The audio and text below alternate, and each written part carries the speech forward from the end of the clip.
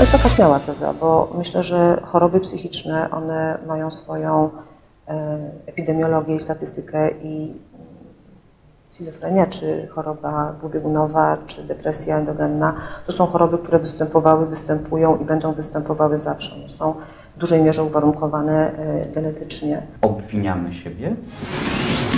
Jakby powiedzieć, jest jakiś kryzys w danym momencie, kryzys życiowy, kryzys osobisty i możemy tę sytuację spróbować rozwiązać, korzystając z naszych zasobów, z naszych mechanizmów Z jakimi problemami pojawiają się pacjenci tutaj na oddziale?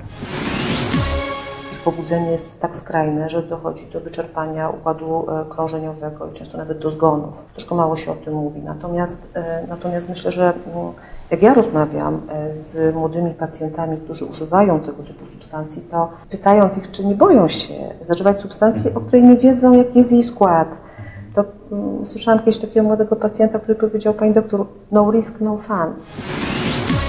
Dużo pacjentów właśnie młodych, to znaczy młodych w tym znaczeniu, nie wiem... Głównie. Jest y, taki rodzaj depresji, jak my to mówimy, depresja sezonowa. Że ona dotyka ludzi właśnie w okresie jesienno-zimowym, wtedy kiedy tego słońca jest zdecydowanie mniej